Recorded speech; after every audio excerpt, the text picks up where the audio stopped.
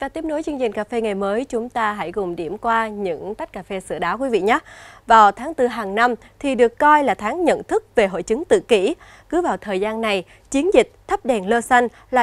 Up Blue sẽ được diễn ra trên toàn thế giới với nhiều hoạt động đa dạng nhằm nâng cao nhận thức về cộng đồng trong hội chứng này cũng như giúp đỡ những người tự kỷ trong quá trình hòa nhập, giao tiếp xã hội và có chất lượng trong cuộc sống tốt hơn. Nằm trong chiến dịch này, một chương trình triển lãm nghệ thuật online mang tên Hưởng Nắng dành cho trẻ tự kỷ lần đầu tiên đã được tổ chức. Triển lãm nghệ thuật Hưởng Nắng được tổ chức online thông qua mạng xã hội Facebook với 36 tác phẩm hội họa kể về những câu chuyện giàu cảm xúc xoay quanh cuộc sống và quá trình trưởng thành của 7 nghệ sĩ nhí mắc chứng tự kỷ. Chương trình giúp các em có cùng những khán giả yêu thích nghệ thuật, chỉ cần ngồi nhà nhưng vẫn có cơ hội thưởng thức những tác phẩm nghệ thuật đẹp mắt của các họa sĩ nhỏ tuổi. Được biết, chương trình triển lãm nằm trong chuỗi hoạt động của tổ chức nghệ thuật Tò He nhằm hưởng ứng chiến dịch toàn cầu nâng cao nhận thức cộng đồng về hội chứng tự kỷ. Chương trình sẽ diễn ra đến hết tháng 4 này.